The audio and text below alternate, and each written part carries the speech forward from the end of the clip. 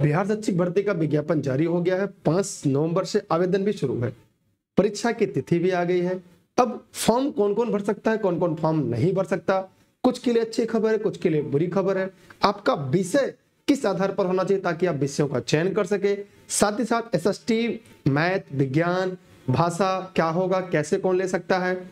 BTC BEd वालों के लिए क्या क्या बदलाव हो गए हैं? साथ ही इस सभी विषयों का चयन कैसे करना है? और अदर स्टेट के जो अभ्यर्थी हैं, उनके लिए क्या बदलाव देखने को मिले हैं? और सीटेड पेपर टू अपेयरिंग वाले वैलिड है नहीं या नहीं है? तो क्या आगे चलकर वो वैलिड हो पाएँगे? क्या अपेयरिंग को भी मौका मिल पाएगा? अब सीटेड में अगर अंक की बात करें तो बयासी प्लस की क्या होगा? क्या नब्बे प्लस लाना ही अनिवार्य है? इस विज्ञप्ति में आखिर क्या है? इसमें हम 9-10 क्योंकि सीटेट के लिए 9-10 ही ज़रूर मतलब छह छह से आठ तक जो शिक्षक बनना चाहते हैं, उनके लिए सीटेट पेपर टू ज़रूरी है। अगर हम 9-10 की बात करें तो इसके लिए यहाँ पर यस्टेट होगा। और यस्टेट जो है, वो पेपर फ़र्स्ट इनको होना ज़रूरी है। और अगर हम बात करें और आगे तो यहाँ पर, यहाँ पे स्टेट पेपर फ़र्स्ट होगा। यहाँ पर जो यस्टेट है, वो पेपर फ़र्स्ट होना अनिवार्य है। ये पेपर फ़र्स्ट और यहाँ पे अगर हम बात करें तो स्टेट पेपर सेकेंड पास होना अनिवार्य है, लेकिन किस किस आधार पर है वो भी हम लोग इस वीडियो में चर्चा करने वाले हैं। यहाँ पर बिहार शिक्षक भर्ती जो यहाँ पर 2.0 है, इसकी संपूर्ण जानकारी हम लोग इस वीडियो सेशन में देखने वाले हैं। सबसे पहले हम मोटी मोटी बातें बता दें, छह से लेकर आठ तक। छह से लेकर आठ तक के अभ्यर्थी जो सीटेड पास है, वही आवेदन कर पाएँगे। हाँ और एक बात और है अदर स्टेट वालों को भी यहाँ पर मौका है, और महिलाओं के अलग सीट है, पुरुषों के लिए अलग सीट है। महिलाओं को उत्तरांक सीटेड में क्या, आगे हम इस विज्ञप्ति के आधार पर बताएँगे विषय का भी चयन करना कैसे बताएँगे, ये वीडियो थोड़ा सा बड़ा होगा क्योंकि हम पूरे विज्ञप्ति जो है, उस पर पूरा फोकस करेंगे। अगर आप बिहार में सरकारी शिक्षक बनने का सपना सोचे हैं और आप चाहते हैं कि बिहार में सरकारी शिक्षक बने, इस वीडियो के अंत तक बने रहेंगे। फ़िलहाल विज्ञप्ति में कहीं भी सीटेड अपेयरिंग के बारे में ज़िक्र नहीं किया गया। क्या आगे चलकर सीटेड अपेयरिंग को मौका मिल सकता है? क्योंकि आपने देखा होगा बीपीएससी फ़ेज़ फ़र्स्ट जब हुआ था तो उसकी विज्ञप्ति में अदर स्टेट नहीं जिबल थे, केवल बिहार के अभ्यर्थी जिबल थे। आगे चलकर अदर स्टेट के अभ्यर्थियों को भी एलिजिबल कर दिया गया था। साथ में पहले माइनस मार्किंग था, बाद में निगेटिव मार्किंग को भी हटा दिया गया। तो बीपीएससी समय समय पर संशोधन भी करती रहती है। इस आधार पर एक बात तो ये भी जान लीजिएगा कि निकट भविष्य में सीटेड अपेयरिंग को भी मौका मिल सकता है। आप अपनी तैयारी जारी रखिए। बाकी आपकी मर्ज़ी, ये मेरी व्यक्तिगत सलाह है। फ़िलहाल अभी के लिए सीटेड पास मौका है। क्या महिला अभ्यर्थी को बयासी प्लस अपने स्टेट में अगर अदर स्टेट की महिला बयासी प्लस पास है सीटेट की मार्कशीट पे क्या बिहार में सरकारी शिक्षक बन सकती है? इस विज्ञप्ति के आधार पर तो बन सकती है, लेकिन आगे हम इस विज्ञप्ति को पूरा अध्ययन करेंगे, फिर देखते हैं आखिर पूरा मामला क्या है। सबसे पहले जो हम बात करने जा रहे हैं, छह से लेकर आठ तक के लिए जूनियर में शिक्षक बनने के लिए, इसके लिए आपके पास सीटेट पास की मार्कशीट होनी चाहिए। और सीटेट अगर आप पास हैं तो आप इस भर्ती में आवेदन कर पाएँगे। या आप बीटीसी या बीएड हो। यहाँ पर ज़िक्र है कि क्योंकि विज्ञप्ति में बीएड सब लिखा है तो क्या बीटीसी के अभ्यर्थी आवेदन कर सकते हैं? अगर बीटीसी लिखा है डीएलएड लिखा है तो कहाँ लिखा है? इसके बारे में भी इस वीडियो सेशन में आपको जानकारी मिल जाएगी। नौ दस के अभ्यर्थी कैसे विषयों का चयन करेंगे? ग्यारह बारह विषयों का चयन कैसे करेंगे? वो सभी हम इस वीडियो में पूरा के करके देख लेंगे। और ये भी थोड़ा शॉर्ट में होगा, उसके बाद हम इसकी एक अलग वीडियो लेकर आएँगे, जहाँ पर केवल छह से आठ तक के लिए संपूर्ण जानकारी होगी, नौ दस के लिए भी संपूर्ण जानकारी होगी, ग्यारह बारह की संपूर्ण जानकारी होगी। आगे मतलब ये वीडियो तीन अलग अलग वीडियो में आएगा, जहाँ पर फिर से हम इसके निचोड़ लेकर आएँगे, क्या आपके लिए कॉमन जानकारी है सब नौ दस वालों के लिए ग्यारह बारह के लिए, छह से आठ सालों के लिए। सबसे पहले में जान लेते हैं कि विज्ञापन जो यहाँ बिहार द्वारा जारी कर दिया गया है, सबसे पहले छह से लेकर आठ तक में कुल इकतीस हज़ार नौ सौ बयासी पद है। अगर इकतीस हज़ार नौ सौ बयासी पद में पुरुष, महिला को एक तरह से तरह देखा जाए तो अलग कर दिया गया कोटि का जो पद है, यह सोलह हज़ार एक सौ चालीस पद रखे गए हैं। और अगर महिलाओं आरक्षण की कोटिवार अगर देखा जाए तो यहाँ पर पंद्रह हज़ार आठ सौ बयालीस पद है। और अगर देखा जाए दिव्यांग हेतु आरक्षित पद, ये कहीं ना कहीं ये केवल बिहार का होगा। हो सकता है अदर स्टेट के अभ्यर्थी जो होंगे, वो इनमें अगर है, या स्वतंत्र सेनानी भी है तो वह वहाँ पर जाने के बाद अदर स्टेट में वो जनरल ही काउंट होंगे। वहाँ पर क्या हो जाएँगे, वो जनरल ही काउंट होंगे। यूँ कह सकते हैं वहाँ पर वो वो सभी अभ्यर्थी जो अदर स्टेट में जाएँगे, वो वहाँ पर यू आर ही काउंट होंगे। तो ये एकदम चीज़ें ध्यान रखिएगा। मैंने महिलाओं के लिए एकदम देखिए 50 परसेंट का पूरा पूरा यहाँ पर आरक्षण मिला है। यहाँ पर कुल पद है। आगे भी इसके बारे में हम लोग देखेंगे। अगर हम अनारक्षित महिला की बात करें तो यहाँ पर पैंसठ सौ चौवालीस पद मिला है। इसी में भी अदर स्टेट की महिलाएँ फाइट करेंगी। और अगर यहाँ पे बात करें पुरुषों में तो बासठ पद है, जिसमें पुरुष को फाइट करनी है। इसमें भी जो पद की संख्या वो आप देख पा रहे हैं, ये जनरल है, ये जनरल अगर ओवरऑल अदर स्टेट की बात करें तो आपको जो पद मिलते हैं, महिलाओं के लिए पैंसठ सौ चौवालीस, और पुरुषों के लिए बासठ पद। अब यहाँ पे वेतन मान वगैरह की हम आगे बात कर लेंगे, क्योंकि इसका जो मूल वेतन है, वो होता है काटपीट का अलग मिलता है। यहाँ पे विद्यालय अध्यापक, स्नातक, कोटि पत्रिक जो है, और इसके वेतन की मूल वेतन अट्ठाईस हज़ार रुपये, लेकिन लेकर पूरा टोटल लगभग पैंतालीस सैतालीस हज़ार रुपये वेतन बनेगा, बयालीस से पैंतालीस हज़ार रुपये। अस्थायी एवं नई पेंशन योजना नियमन अनुमान है, और योगदान की तिथि दो वर्ष की अवधि, परीक्षा मान अवधि मानी जाएगी मतलब वहाँ पे ये कह सकते हैं कि दो साल तक का प्रोविज़न पीरियड रहेगा, और यूपी में अगर हम बात करें तो यहाँ पर एक साल का ही होता है।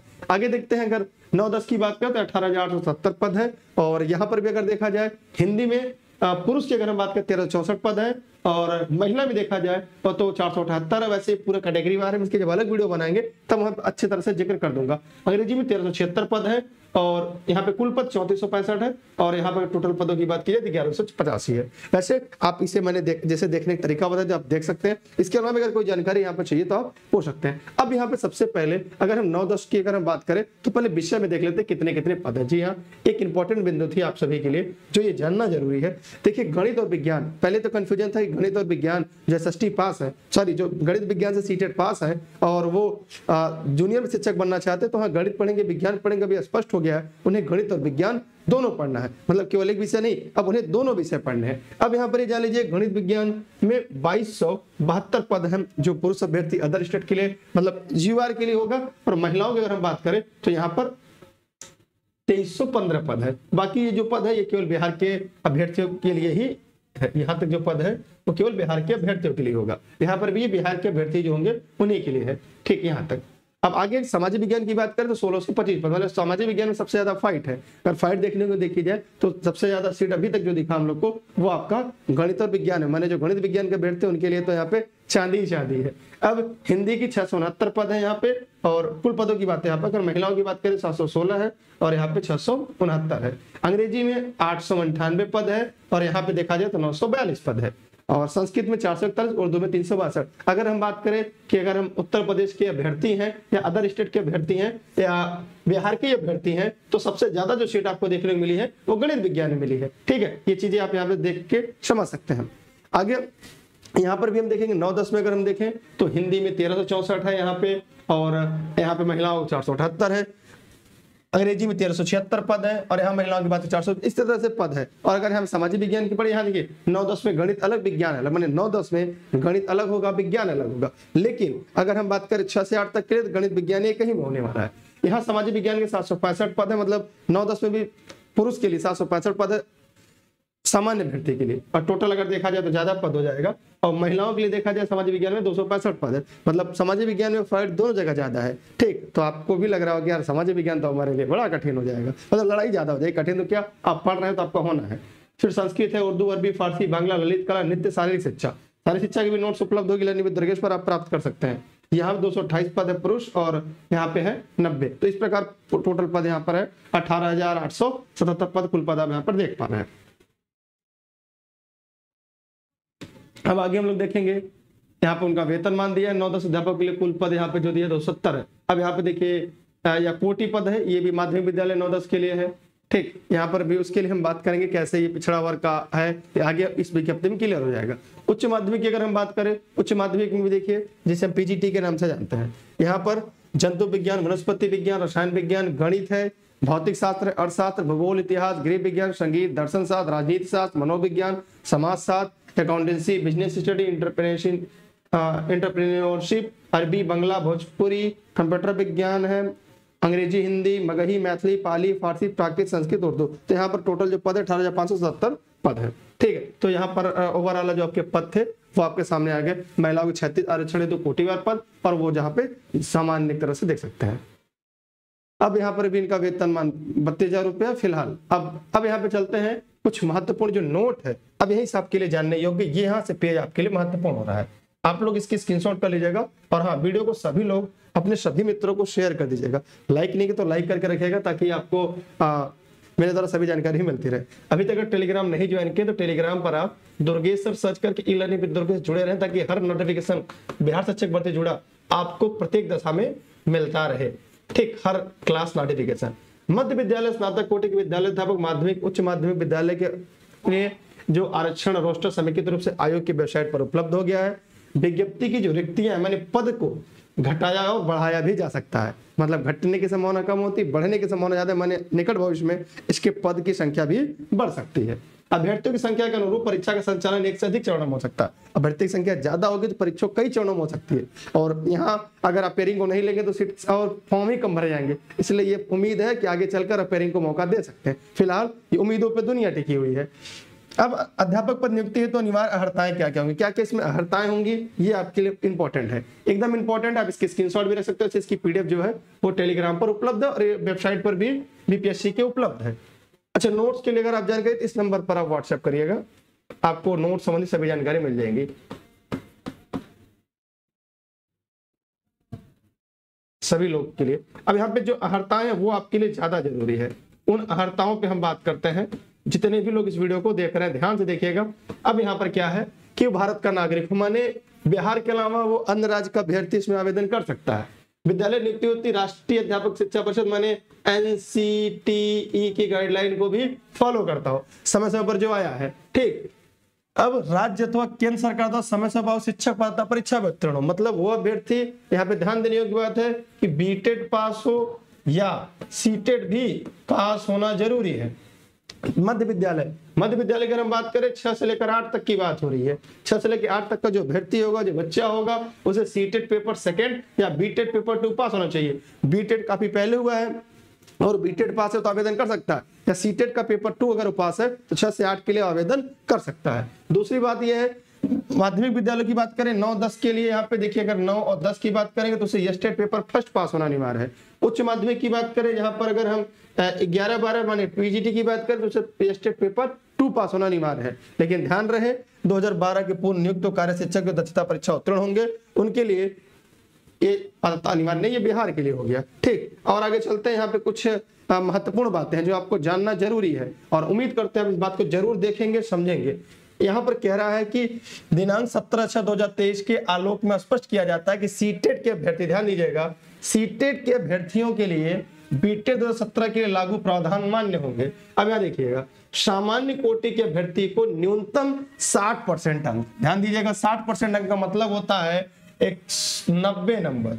ये नब्बे नंबर हो जाएगा 150 है मतलब ये क्या है आपका? 60 परसेंट है, ये क्या हो गया? 60 परसेंट। और जो बयासी नब्बे में है, यह है आपका पचपन परसेंट। कितना है? पचपन परसेंट। तो यहाँ पे ध्यान देने वाले, आगे देखिएगा।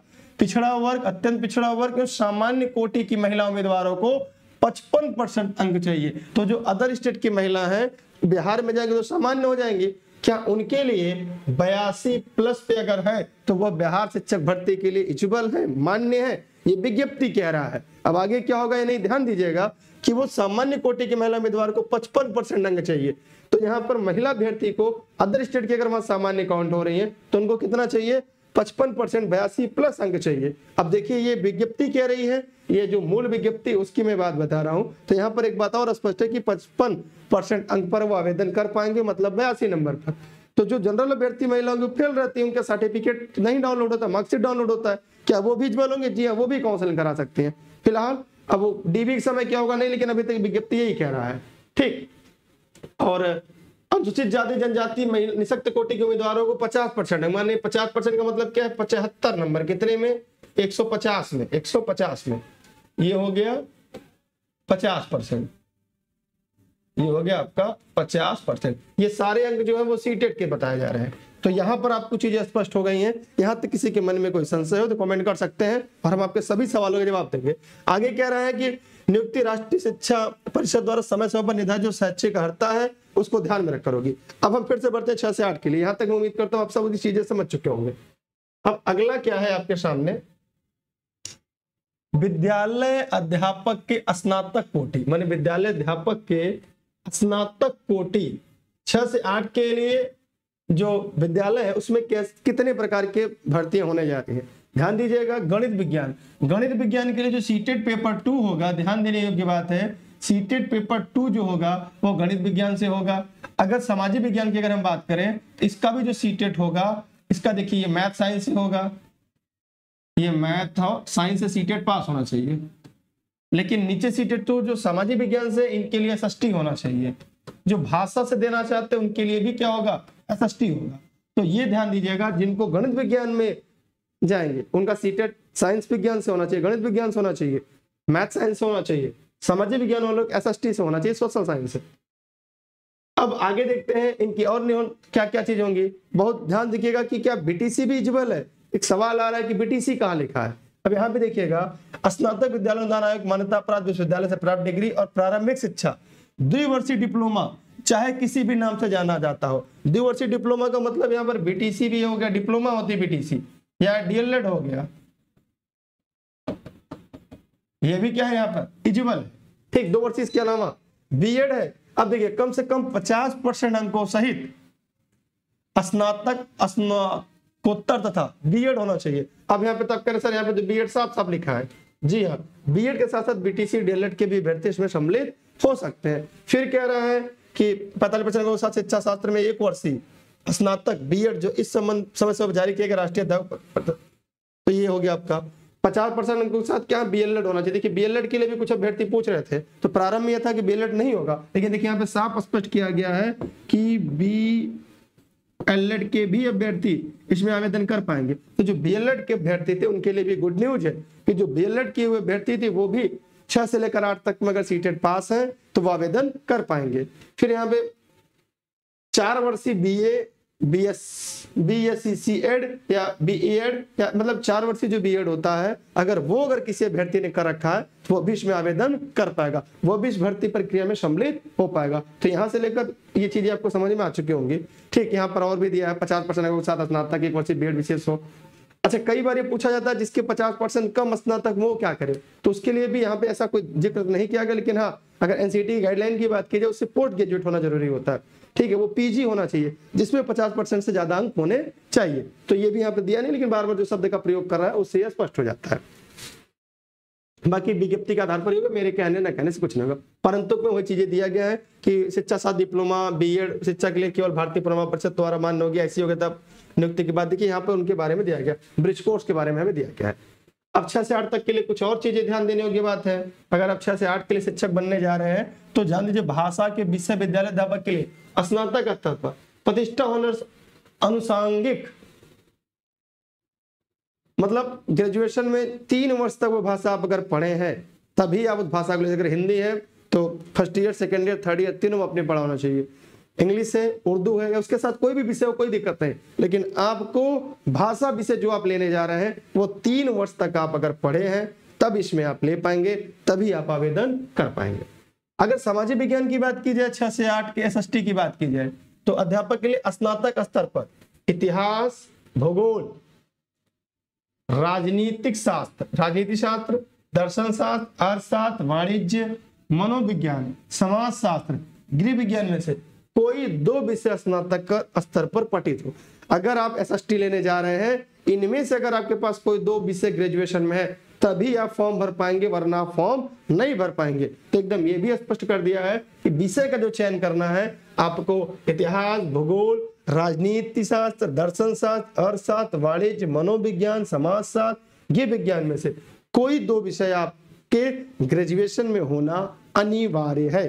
ठीक? यहाँ तक अगर आपको हो गया तो इसके स्क्रीनशॉट लीजिए आपके बहुत काम आने वाला है, क्योंकि कई लोग इस बारे में सवाल भी पूछते हैं। तो फिर आपको समस्या बाद में होती है। गणित के लिए ध्यान दीजिएगा, गणित और विज्ञान के लिए। कक्षा छह से आठ के लिए गणित और विज्ञान विषय के लिए, स्नातक स्तर पर गणित, भौत, भौतिकी, रसायन, जीव विज्ञान में से कोई दो विषय आपके पास होना चाहिए। इसके अलावा अगर है तो आप फॉर्म नहीं भर सकते, इसलिए इस बात को ध्यान से समझिएगा, ध्यान से देखिएगा, वरना आपके साथ समस्या हो सकती है। ठीक। इसके अलावा वाले नहीं भर पाएँगे। और आगे देख रहा है कि छह से आठ के लिए परंतु में ध्यान दीजिएगा। विद्यालय अध्यापक पद नियुक्त है तो शैक्षिक और प्रशैक्षिक योग्यता में अनुसूचित जाति, जनजाति अत्यंत पिछड़ा वर्ग पिछड़ा वर्ग दिव्यांग व्यक्तियों को न्यूनतम निर्धारित अर्हता में पाँच परसेंट की छूट दी जाएगी। तो ये केवल बिहार के अभ्यर्थियों को मिल पाएगी जो इस कैटेगरी में आते हैं। अगर इस कैटेगरी में कोई अदर स्टेट का अभ्यर्थी आता है तो उसे इसका लाभ नहीं मिलेगा। आप चाहे तो इसकी स्क्रीनशॉट रख लें, वैसे ये आपको टेलीग्राम पर मिल जाएगी। अब हम नौ दस की अगर हम बात करें, सिलेबस की भी बात करेंगे। इस वीडियो में पूरा सिलेबस, विज्ञप्ति, कंप्लीट विज्ञप्ति यहाँ पर हम लोग पढ़ेंगे, जानेंगे। अब सामान्य विषय नौ दस की अगर बात करें तो यहाँ पर क्या क्या योग्यताएँ होनी चाहिए? ये तो पचास परसेंट अंक के साथ आपके पास बी एड होनी चाहिए। इसके बारे में दिया गया, यहाँ तक आप लोग चीज़ें समझ लीजिए। अब देख रहे हैं ना, यहाँ पे बी एड आपके पास होना चाहिए, पचास परसेंट अंकों के साथ। और आपके पास स्टेट पेपर फ़र्स्ट होना चाहिए, ऊपर ही हम लोगों ने देख लिया था। अब विषय बार अगर हम देखें तो पहला विषय आपके पास आता है शारीरिक शिक्षा। ध्यान दीजिएगा, शारीरिक शिक्षा। शारीरिक शिक्षा के लिए कक्षा नौ, दस के लिए, विद्यालय अध्यापक के लिए आवश्यक अच्छे योग्यता में वैकल्पिक विषय के रूप में शारीरिक शिक्षा के साथ, पचास परसेंट अंकों के साथ शारीरिक शिक्षा में स्नातक हो। माने आप स्नातक किए हैं तो पचास परसेंट आपके अंक होने चाहिए शारीरिक शिक्षा के साथ। और आप स्टेट पेपर फ़र्स्ट भी पास होने चाहिए तो अनिवार्य पहले ही। तो ये कुछ अथवा में है, ये कुछ अथवा में है ये कुछ अथवा में है। ठीक, ये कुछ क्या पैतालीस परसेंट अंकों से सारी शिक्षा में स्नातक तो यहाँ अथवा अथवा करके है तो आप यहाँ पे देख सकते हैं अब, चलिए, आगे देखते हैं तीन वर्ष के लिए बीपीएड हो। अगर बीपीएड हो, सारी शिक्षा में तीन वर्ष का स्नातक से, ध्यान दीजिएगा। बीपीएड के अभ्यर्थियों के लिए भी ये गुड न्यूज़ अब, सारी शिक्षा में तीन वर्ष की अवधि का स्नातक, अर्थात बीपीएड पाठ्यक्रम, अथवा इसके समतुल्य अगर है तो भी लोग आवेदन कर पाएँगे। ठीक, ये भी आपके लिए इंपॉर्टेंट है क्योंकि बीपीएड के अभ्यर्थी बार बार पूछते थे, सर, क्या बीपीएड वाले आवेदन कर पाएँगे? कर पाएँगे। इसकी विज्ञप्ति के लिए मैं अलग से बना दूँगा, इसकी अलग वीडियो सेपरेट ताकि पूरी चीज़ें स्पष्ट हो जाए। संगीत के लिए ध्यान दीजिएगा यहाँ पर शैक्षिक योग्यता क्या क्या होनी चाहिए। पचास परसेंट अंकों के साथ संगीत शिक्षा में स्नातक उपाधि है, उसके समकक्ष उपाधि होनी चाहिए। ललित कला के लिए भी पचास परसेंट के साथ ललित कला की होनी चाहिए, पचास परसेंट। नृत्य के लिए भी सेम, पचास परसेंट के साथ उपाधि। अब नौ दस के लिए ध्यान दीजिएगा, अन्य के लिए स्नातक उपाधि होनी चाहिए बीएड होना चाहिए। समूह निम्नवत है। क्या क्या है आप देखिए। अब विषय समूह देख लीजिएगा। कुछ लोग विषय समूह को लेकर बहुत परेशान थे। विषय के समूह अगर हम बात करें तो यहाँ पर देखिए विषय समूह है। किसके लिए? नौ दस के लिए, मानी ये टीजीटी के लिए। अगर टीजीटी में आपको गणित लेना है, अगर आपको टीजीटी में गणित पढ़ना है, गणित से लेना है जब अगर सूचना संख्या में स्नातक स्तर पर, गणित के साथ ध्यान दीजिएगा, गणित के साथ भौतिकी, इलेक्ट्रॉनिक्स, कंप्यूटर साइंस, रसायन विज्ञान संख्य विषय में से कोई दो विषय स्नातक स्तर पर पढ़ा गया हो, या इंजीनियरिंग से स्नातक, जिसमें गणित की विशेषज्ञता हो गणित में इंजीनियरिंग का मतलब समझ रहे हैं? इंजीनियरिंग हो इंजीनियरिंग से स्नातक हो। गणित की विशेषज्ञता हो। मतलब गणित से इंजीनियरिंग मतलब बीटेक हो और गणित में विशेषज्ञता हो। तो भी वो अभ्यर्थी इस परीक्षा में नौ, दस की परीक्षा में आवेदन कर पाएगा, लेकिन शर्त यह है, वो CTET sorry state paper first pass होना चाहिए। तो ये आप लोग समझ गए हैं। अब आगे विज्ञान की बात करें, ये भी आपके लिए, क्योंकि बहुत लोग विज्ञान को लेकर पूछते हैं। स्नातक स्तर पर जंतु विज्ञान। प्राणी विज्ञान, वनस्पति विज्ञान, रसायन शास्त्र विषय में। पठित इंजीनियरिंग से स्नातक हो जिसमें विज्ञान की विशेषज्ञता हो तो भी आवेदन कर पाएगा। ठीक तो आप इसके स्क्रीनशॉट लीजिएगा। गणित और विज्ञान के लिए एकदम अलग अलग विषय यहाँ पे समझ में आ गया होगा आपको। अगर सामाजिक विज्ञान की बात करें तो सामाजिक विज्ञान में क्या क्या है? स्नातक स्तर पर सहायक विषय, प्रतिष्ठा विषय के इतिहास, भूगोल, अर्थशास्त्र, राजनीति शास्त्र में किसी दो विषय में उत्तीर्ण हो जिसमें अनिवार्य रूप से एक विषय इतिहास या भूगोल हो। मतलब इतिहास भूगोल में से इतिहास भूगोल उसके साथ अर्थशास्त्र भी ले सकते हैं, उसके साथ सिविक्स भी या पॉलिटिक्स भी ले सकते हैं, या इतिहास भूगोल भी आप ले सकते हैं। माने इतिहास भूगोल और अर्थशास्त्र राजनीति शास्त्र में से कोई दो विषय होगा, लेकिन उसमें से एक विषय इतिहास से भूगोल होना अनिवार्य है। दोनों विषय इतिहास भूगोल भी हो सकता है। ये मैंने एक डायग्राम में बताया था। सामाजिक विज्ञान विषय, विद्यालय पद पर नियुक्त व्यक्ति, इतिहास, भूगोल अर्थशास्त्र राजनीति शास्त्र किसी दो विषय जिसमें एक विषय इतिहास या भूगोल विषय अनिवार्य होना चाहिए। चयन सामाजिक विज्ञान विषय की परीक्षा में कर सकते हैं। जब परीक्षा होने लगेगी तो उसमें आप अपने विषय का भी चयन कर सकते हैं। ओएमआर सीट में आपके विषय को चयन करने का भी ऑप्शन रहेगा। अब देखिए, आलोक में सामाजिक विज्ञान के अंतर्गत इतिहास विषय के समकक्ष प्राचीन इतिहास माना जाएगा। हाँ प्राचीन इतिहास जो भी माना जाएगा। अच्छा यहाँ पे देखिए सॉरी भाषा के लिए देख लेते हैं। माध्यमिक विद्यालय अध्यापक पद हेतु भाषा संबंधित विषयों में संबंधित भाषा में स्नातक स्तर पर प्रतिष्ठा अनुसांगिक विषय के रूप में पठित मैंने तीनों साल ग्रेजुएशन में आपने पढ़ा। हो तो यहाँ तक हमने देख लिया भाषा एस एस टी साइंस और मैथ आप चाहें तो इसके स्क्रीनशॉट ले लें। एकदम स्पष्ट रूप से मैंने चीज़ें बता दी हैं। फिर भी किसी के मन में कोई संशय है तो पूछ सकता है। अब हम यहाँ पे देखेंगे ग्यारह बारह से। अगर ग्यारह बारह की बात करें तो ग्यारह बारह के लिए विश्वविद्यालय अध्यापक के लिए क्या क्या विषयों के हैं? सामान्य विषयों के लिए क्या क्या शैक्षिक योग्यता होती है? तो सबसे पहले आप जान लीजिएगा आपके पास बी की डिग्री हो और प्लस स्टेट पेपर टू आप पास होने चाहिए। ठीक स्टेट पेपर टू के आप पास होना अनिवार्य है। उसके लिए भी यहाँ पे दिया गया है, आप उसे देख सकते हैं वर्ग। फिजिक्स अगर आप ले रहे हैं तो उसके साथ आपका ये होना चाहिए। केमिस्ट्री के साथ यहाँ इकोनॉमिक्स साथ कॉमर्स साथ बाटनी जुलॉजी साथ। इसके स्क्रीनशॉट ले ली क्योंकि इसकी मैंने वीडियो बना रखी है। ठीक, इसकी मैंने वीडियो पहले से बना रखी है। आगे देखिएगा मैथ को लेकर। मैथ हो अप्लाइड मैथमेटिक्स हो लेकिन कक्षा ग्यारह बारह में कंप्यूटर विज्ञान विषय के लिए ये भी इंपॉर्टेंट है कि कक्षा ग्यारह और बारह में कंप्यूटर विज्ञान विषय के लिए क्या क्या होना चाहिए? पहले विषय समूह में मान्यता प्राप्त विश्वविद्यालय यहाँ पे ये सब डिग्री होनी चाहिए, अगर आपके पास है ठीक है, वरना क्योंकि वीडियो लंबा होता जा रहा है। संगीत के लिए देखिए ग्यारह बारह में क्या है? वाणिज्य संकाय के लिए क्या है? ये भी देख लीजिए, इसकी वीडियो मैंने बना रखी है वो देख लीजिएगा। पत्र की मान्यता क्या है? ठीक अब आते हैं, यहाँ पर देखिए पिछड़ा वर्ग अति पिछड़ा वर्ग कल्याण के लिए। देखिए, कुछ लोग कर इस पे कैसे भरा जाएगा? जब फॉर्म भरते समय इसका भी ऑप्शन मांगेगा। पद अर्ता में, जब पद आप डालेंगे तो इसका भी ऑप्शन वहाँ पे मांगा जाएगा। इसलिए आप इसके लिए घबराइएगा नहीं, यहाँ पर इस पद पे भी आवेदन कर पाएँगे। मैं तो ये कहूँगा ज़्यादा सारा बेहतर इसी में करेगा क्योंकि इसमें कम लोग, क्योंकि पद कम है, लोग इसमें कम आवेदन करेंगे। इसमें भाषा है, गणित है, सामाजिक विज्ञान है, कम पद है। तो रिस्क थोड़ा सा ज़्यादा, लेकिन कुछ लोग ले सकते हैं रिस्क माध्यमिक में भी हो गया ये। अब हम चलते हैं सेलेबस की तरफ़। अब देखिए, एक कह रहा किस किस विषयों पर कहा कहा किस तरह से नियुक्ति होगी, जो पिछड़ा आयोग के लिए है। उसमें जनरल के अभ्यर्थी भी आवेदन कर सकते हैं और हो भी सकते हैं। अच्छा प्रधानाध्यापक पद के लिए भी है। अच्छा देखिए, प्रधानाध्यापक के लिए भी पद है। इसके लिए क्या क्या होना चाहिए? भारत का नागरिक हो मानता विद्यालय पचास परसेंट अंकों सहित स्नातकोत्तर उत्तीर्ण होना आवश्यक होगा। और बीएड हो या BEd B S C C Ed में चार वर्षीय, दो वर्षीय बीएड हो। और अनुभव क्या होना चाहिए? प्राथमिक शिक्षक प्रतिपद पर योगदान के लिए पंद्रह वर्षों लगातार सेवा में हो। तो ये देख लीजिएगा, इसमें आपका लंबा पद भी नहीं है। स्टेट को लेकर देख लीजिएगा। इसे प्राधान्य दबा के लिए स्टेट का प्रावधान नहीं है। अच्छा उम्र सीमा की बात है यहाँ पे। चलिए चलिए, उम्र सीमा भी देख लेते हैं। पीजीटी उम्र सीमा क्या है? ये स्टेट की बात कर रहा है पेपर टू पे। अब आते हैं हम सिलेबस की तरफ़। अब यहाँ से हम लोग देखेंगे कि नया सिलेबस क्या है। सिलेबस में पैटर्न में क्या क्या बदलाव हुए हैं। इन बदलावों को भी देखेंगे और जानेंगे कि नया नया पैटर्न में अब क्या क्या आया है। अब देखिए, पहले क्या होता था? एक पेपर भाषा का होता था, जिसे पास करना था। जिसमें अंग्रेज़ी के साथ साथ आप हिंदी, बांग्ला, संस्कृत, उर्दू में से कोई एक ले सकते थे। अब भी वही है प्रक्रिया, लेकिन अब इसके पैटर्न में बदल चुका है। अगर हम बात करें, प्रश्नों की संख्या अब 150 होगी। अब केवल एक ही पेपर होगा। आर्ता जिसे समान अध्ययन और विषय के नाम से जानेंगे। मतलब इसमें तीन तरह के, तीन कैटेगरी बन गई है। तीनों कैटेगरी की हम बात करें तो पहला जो है भाषा, जैसे अहर्ता के नाम से, देखिए, पहला जो अहर्ता है, ये भाषा होगा। तीस प्रश्न है।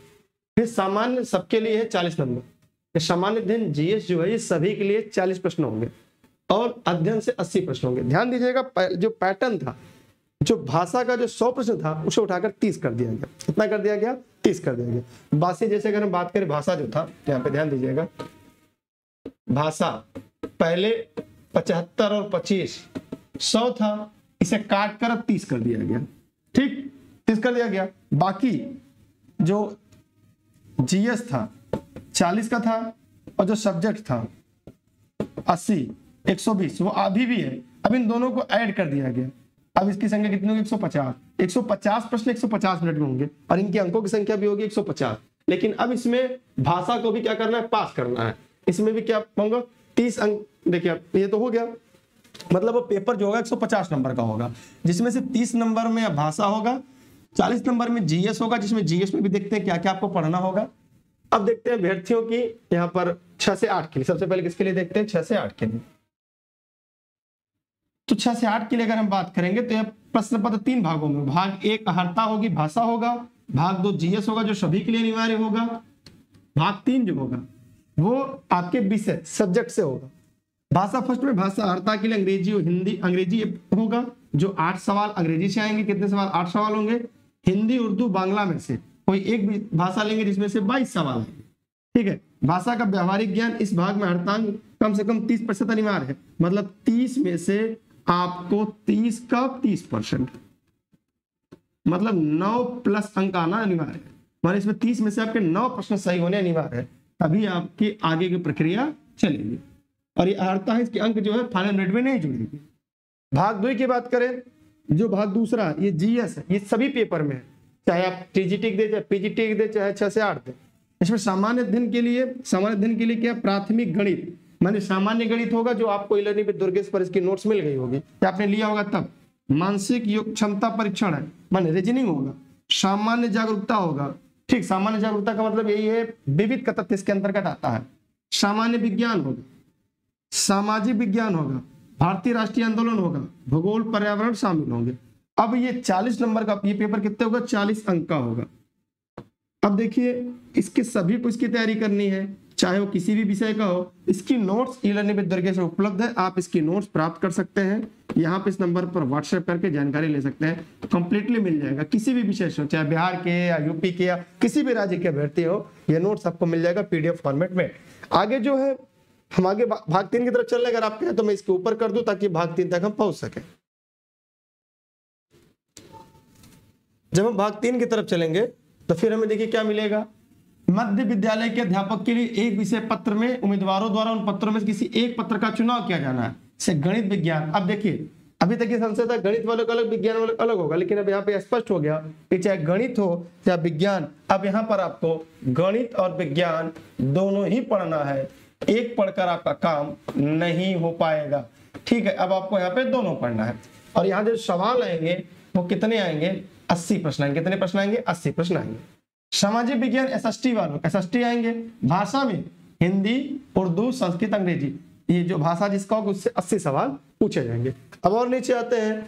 अब जो अन्य पिछड़ा वर्ग, अति पिछड़ा वर्ग कल्याण विभाग के अंतर्गत प्रारंभिक शिक्षक प्रतिष्ठित के लिए एक विषय, मैंने एक विषय पत्र, उम्मीदवारों द्वारा पत्र में पत्र चुनाव करना सेम उसमें भी है ये प्रक्रिया। अब लेकिन नीचे देखने हैं कि उपरोक्त विषय, ध्यान दीजिएगा, उपरोक्त विषय पत्रों का पाठ्यक्रम एस और एनसीआरटी से संबंधित होंगे। माने जो पूरा पेपर होगा, बिहार के एस और एनसीआरटी से ही होगा। और जो उत्तर माने जाएँगे, वो एनसीआरटी के साझ पर माने जाएँगे। तो एनसीआरटी और एससीआरटी की जो नोट्स है ई लर्निंग विद दुर्गेश पर उपलब्ध है। एनसीआरटी प्लस एस की जो नोट्स है, वो ई लर्निंग विद दुर्गेश उपलब्ध है। कम समय में बेहतर तैयारी करने के लिए आप इन नोट्स को पीडीएफ फॉर्मेट में यहाँ से प्राप्त कर सकते हैं, जो आपको कम समय में बेहतर तैयारी करने का मौका दे सकता है। ओल्ड और न्यू दोनों मिलाकर तैयार किए गए। लेकिन इसका स्तर उम्मीदवार हेतु तो निर्धारित न्यूनतम अर्हता के आलोक में होगा। आलोक का मतलब समझिए, कुछ लोगों ने इसकी स्क्रीनशॉट मुझे भेज दी थी। इसका न्यूनतम अर्हता आलोक का मतलब क्या है? उनके आईक्यू लेवल के हिसाब से होगा। आईक्यू लेवल का मतलब ये होगा कि छह से आठ वालों के लिए अलग नौ दस वालों के लिए अलग व्यवस्था ग्यारह बारह वालों के लिए अलग। माने छह से आठ वालों के लिए, मान लीजिए छह से आठ तक पढ़ना है, नौ दस वालों को छह से लेकर दस तक पढ़ना है ग्यारह बारह वालों के लिए छह से लेकर बारह तक पढ़ना है। तो यह कहने का इसका स्पष्ट है कि उनका जो आईक्यू लेवल होगा, उसके हिसाब से प्रश्न पत्र तैयार किया जाएगा, उसके हिसाब से इनके प्रश्न होंगे। आगे देखिएगा समान अध्ययन पत्र के पाठ्यक्रम सीआरटी से संबंधित होंगे, लेकिन इसका स्तर उम्मीदवार हेतु निर्धारित होगा। अब देखिए, जो सामान्य अध्ययन जीएस का पेपर होगा, जो आपने जीएस पढ़ा होगा तो जीएस का पेपर सीआरटी में पहले से आपने देखा होगा। कि हम लोगों ने इलानी दुर्गेश पर सीआरटी का डाला था, क्योंकि मैंने भी पढ़ा था, मुझे भी लगा ये पूरा सीआरटी पर जीएस जो पूरा आपका सीआरटी पर है। जीएस जीके जो होगा, जो गणित होगा सामान्य, वो भी सीआरटी का होगा। वो भी इलानी दुर्गेश पर आपने देख लिया होगा, वो भी आपने यहाँ पे प्राप्त कर लिया होगा। पीडीएफ फॉर्म में अब तो यहाँ तक हो गया आपका विषय के बारे में, यहाँ पे सिलेबस भी आप समझ लिए। अब हम आते हैं सेम प्रक्रिया जो है, वो है यहाँ के नौ दस वाले। नौ दस में अगर ये स्टेट है, ऊपर के विषय आपका टैली कर रहा है, तब यहाँ पर भी 150 प्रश्न होंगे। तीस नंबर में दो भाषा आपको होंगे, जैसे अगर आपने हिंदी, अंग्रेज़ी रख लिया, नौ नंबर लाना अनिवार्य है। मैंने तीस परसेंट है, उसके बाद चालीस नंबर जीएसजी के विविध होगा, जो सबके लिए अनिवार्य है, और अस्सी नंबर आपके विशेष होगा। वही चीज़ यहाँ पर एकदम बता रहे हैं, आप देखो स्पष्ट रूप से यहाँ पे देख पाएँगे। देख लीजिए सेम वही प्रक्रिया है। तीस प्रश्न सबको सॉरी तीस नंबर जो देखिए तीस नंबर अर्हता है, पास करनी है। चालीस नंबर का जीएसजी के विविध और सामान्य विज्ञान है। साथ ही साथ आपके लिए गणित है, गणित विज्ञान है रीजनिंग है, भूगोल है, पर्यावरण है, भारतीय राष्ट्रीय आंदोलन है। अगर भाग आठ, अस्सी भाग करे भाग दो, आपके बीस से संबंधित होगा। सेम प्रक्रिया यहाँ पे दिया गया है। यहाँ पे भाग तीनों भाग तीन भाग में पेपर होने हैं। भाषा केवल पास करना है तो यहाँ पे तीन परसेंट, तीस परसेंट अंक लाना है। भाग दो की बात करें तो हम यहाँ पर दिया कि लेकिन इसका स्तर उम्मीदवार हेतु तो होगा न्यूनतम। अब इसकी जो स्तर होगा, ये थोड़ा सा हाई लेवल का होगा मतलब यहाँ पर अगर हम बात करें तो इसका जो जीएसजी के होगा, वो थोड़ा सा हाई लेवल का होगा। तो यहाँ पे हाई लेवल का पढ़ना है, विषय का जो चयन करना है, जो विषय आप चयन करेंगे, वो भी आप अपनी भाषा को यहाँ पर चयन कर सकते हैं। अब लेकिन ये कहा जा रहा है, ये सीआरटी पैटर्न होगा, या एनसीआरटी पैटर्न होगा, ये भी आपके मन में संशय होगा। आइए इस पर भी हम लोग देख लेते हैं। तो ये भी पूरा एनसीआरटी पैटर्न पर ही होगा। कहाँ पर होगा? ये एनसीआरटी पैटर्न पर ही होगा। ठीक है? और ये आपके उसके स्तर पर ही होगा। अब अगर हम पीजीटी की तरफ़ आते हैं पीजीटी में भी सेम प्रक्रिया है। अगर हम पीजीटी की बात करें तो सेम प्रक्रिया यहाँ पर है। तीस नंबर का भाषा होगा, जिसको केवल पास करना है, जिसमें दो भाषा होंगी, नौ नंबर लाना अनिवार्य है। और उसके बाद चालीस नंबर होगा, अहर्ता, जिसमें प्राथमिक गणित, सामान्य जागरूकता, सामान्य विज्ञान, भारतीय राष्ट्रीय आंदोलन, भूगोल होगा। ये भी केवल क्वालिफाई मतलब इसमें अंक जुड़ेंगे। जब आपका पेपर बनना है 120 नंबर से ही आपके सिलेक्शन मिलनी है। वही प्रक्रिया, भाषा खाली सौ की जगह तीस कर दिया गया है बस। और यहाँ पर आप विषय का चयन कर पाएँगे तो ये पूरी तरह से एनसीआरटी पैटर्न पर होगी। अब देखिए, अब यहाँ पर वही शब्द फिर से ज़िक्र कर रहा है कि जिसका मैंने बताया है निगेटिव मार्किंग नहीं होगी, एकदम स्पष्ट रूप से हो गया, देखिए। अब यहाँ पे पहली बात तो जो यहाँ पे क्वालिफाई करना है जो भाषा है उसमें तीस नंबर में केवल नौ नंबर लाना क्वालिफाई करना है इसके अंक नहीं जुड़ेंगे इससे आपकी मेरिट प्रभावित नहीं होगी। सभी विद्यालय की लिखित परीक्षा जो वस्तुनिष्ठ बहुविकल्पी मैंने बहुविकल्पी होगी? ठीक गल, प्रत्येक गलत उत्तर के ऋणात्मक अंक निगेटिव नहीं होगा मैंने नेगेटिव मार्किंग अब यहाँ पर क्या होगी? नहीं होने वाली है। और लिखित परीक्षा का मूल्यांकन प्रावधान दोबारा मूल्यांकन कराने कोई प्रावधान नहीं दोबारा हम कॉपी अपनी जचवा अब इनकी मेधा सूची कैसे बनेगी यहाँ पे देखिए बता दिया गया है। कि लिखित परीक्षा के कुल प्राप्तांक भाषा मतलब जो जीएस जी के होगा, आपका विषय होगा, उसी सबकी मेरिट बनेगी। लैंग्वेज सबकी मेरिट नहीं बनेगी वही यहाँ पर शब्द क्या रहा? वही मैंने आपको पहले बताया। मेधा सूची बनेगी, ठीक है? और अगर बराबर है नंबर किसी के उत्तरांग में तो उम्र को वरीयता दी जाएगी, फिर हिंदी, वर्णमाला, देवनागरी को, उसको यहाँ पर वरीयता दी जाएगी। सेम वही प्रक्रिया यहाँ भी बताया है, इसमें भी वही चीज़ें बताया है। ठीक। यहाँ पे क्वालिफाई मार्क की बात कर रहा है। अपने जो न्यूनतम क्वालिफाई मार्क है, उसको ऊपर ही आपको रहना है इसके नीचे अगर आप रहते हैं तो आपको कॉपियाँ नहीं जचेंगी मतलब आपके सिलेक्शन नहीं होगा। तो यहाँ पर मेहता सूची कैसे बनेगी इसके लिए भी मैं अलग अलग एक सेपरेट वीडियो बना दूँगा टीजीटी का अलग पीजीटी का अलग, और उसका अलग, ताकि आपको जो सभी जानकारियाँ हैं, वो क्रमवार रूप से मिल जाए। फिर भी अगर आपके मन में कोई संशय है, कोई प्रश्न हो तो आप यहाँ पर पूछ सकते हैं।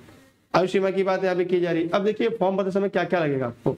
फ़ोटो युक्त पहचान पत्र, आधार कार्ड हाल का खींचा हुआ दो फ़ोटो लिखित परीक्षा के लिए भरे गए डाउनलोड की आवेदन की प्रति लिखित परीक्षा के लिए निर्गत ई एडमिट कार्ड यहाँ लेकर आपको जाना है। ठीक है? ये डॉक्यूमेंट क्या क्या चाहिए? इसके लिए मैं अलग वीडियो बना दूँगा क्या क्या डॉक्यूमेंट चाहिए। प्रमाण पत्रों की जाँच कैसे होगी शुल्क कैसे होगा, इस पर भी मैं वीडियो अलग से बना दूँगा, क्योंकि वीडियो बहुत बड़ा हो गया है। रजिस्ट्रेशन प्रक्रिया क्या है? कैसे फॉर्म भरे जाएँगे? यहाँ पर पूरा पूरा एक एक करके हम आपको बता देंगे। तो बिहार शिक्षक भर्ती से जो चीज़ें थी, उम्मीद करते हैं आपको पूरा चीज़ें स्पष्ट हो गया होगा। फिर भी अगर आपके मन में कोई प्रश्न हो, कोई संशय हो तो कमेंट कर सकते हैं। और यहाँ पर बहुत सारे मन में सुझाव होंगे तो आप पूछ सकते हैं। नोट संबंधी जानकारी इस नंबर पर कॉल या व्हाट्सएप कर सकते हैं। सेल्फ स्टडी पर फोकस करिएगा। एनसीईआरटी का हमेशा सा रोल रहा है, आगे भी रहने वाला है। यहाँ पर जीएस की, लैंग्वेज की और आपके सब्जेक्ट की सभी नोट्स मिल जाएँगी। और ये पीडीएफ फॉर्म भी समय कम है आपके। और आप चाहते हैं तो ई लर्निंग दुर्गेश के व्हाट्सएप से भी जुड़ सकते हैं, जहाँ पर आपको सभी क्लास की नोटिफिकेशन वीडियो भी मिलती रहेगी। यहाँ पर अपना नाम और जिला लिखकर अगर मैसेज कर देंगे तो आप यहाँ से जुड़े रहेंगे। मेरे द्वारा आपको सभी क्लासेज निःशुल्क देशित में राष्ट्रित में जाती है और मेरा ई लर्निंग में दुर्गेश पे एज ए गेस्ट के रूप में पढ़ाता हूँ, जब भी मुझे मौका, जब भी समय मिलता है, एक ऐसा प्लेटफॉर्म है जो मुझे अपनी बातें आप तक पहुँचाने में मदद करती है। मुझे खुशी मिलती है। तो आप चाहते हैं नोट्स ले, ना ले आपकी मर्ज़ी है, आपके ऊपर है। लेकिन हाँ टेलीग्राम पर जुड़े रहेंगे तो जो भी मेरी क्लास आने टीचर जो इसमें पढ़ाते हैं, उनकी वीडियोज़ आपको मिलती रहेगी। दुर्गेश सर सर्च करना, बिना स्पेस के लेने भी दुर्गेश आएगा, उसे आपको ज्वाइन कर लेना। इस चैनल को सब्सक्राइब करके बेल आइकन दबाइएगा, वीडियो को लाइक करिएगा, अपने सभी मित्रों को शेयर करिएगा। कोई व्यक्तिगत सवाल है तेलानी में दुर्गेश इंस्टाग्राम पर भी अपने सवाल हो सकते हैं। उम्मीद करते हैं कि आपको आपकी पूरी जानकारी मिल गई है। वीडियो को अपने मित्रों तक साझा ज़रूर करिएगा। इसके अलावा हो सकता है, समय समय पर संशोधन भी होते रहते हैं, संशोधन होते भी रहे। इसलिए अपनी तैयारी को ब्रेक मत करिएगा, अपनी तैयारी आगे रखिएगा। संशोधन में बहुत हो सकता है कि सीटेड अपेयरिंग को मौका मिल जाए। बाकी संशोधन की कोई गुंजाइश इसमें नहीं लग रही। फ़िलहाल मैं चाहूँगा आप सभी के हित के लिए हो और अच्छे बच्चों का सिलेक्शन हो। आप पढ़ रहे हैं, मेहनत कर रहे हैं, आप अपना बेस्ट और बेहतर दें मेरी शुभकामनाएँ आपके साथ है। सीटेड अगर आपका पास नहीं सीटेड पर फोकस करें। सीटेड के भी नोट्स इलानी पर उपलब्ध है। अगर आप सीटेट के भी चाहिए तो सीटेट के भी नोट्स इलेवन क्योंकि ये पूरा पैटर्न जो है वो एनसीआरटी को फॉलो करता है। ठीक है? आप सभी का बहुत बहुत आभार। धन्यवाद। बाय बाय और पूरी जानकारी मिल गई। वीडियो काफ़ी लंबा हो गया। वीडियो को शेयर करिएगा। पूरा देखेंगे तो आपका कॉन्सेप्ट क्लियर होगा। फ़िलहाल, हम चलते हैं, विदा लेते हैं। और सारी जानकारी आपको पूरा मिल गई है। थैंक यू आपका। बाय बाय जय हिंद। वीडियो को शेयर ज़रूर करिएगा, लोगों तक तो पहुंचाते रहिएगा। और अलग अलग टॉपिक की वीडियो बना देंगे अलग अलग क्लास पर, ताकि आपको कोई संशय, कोई समस्या ना रह जाए। Bye bye thank you bye bye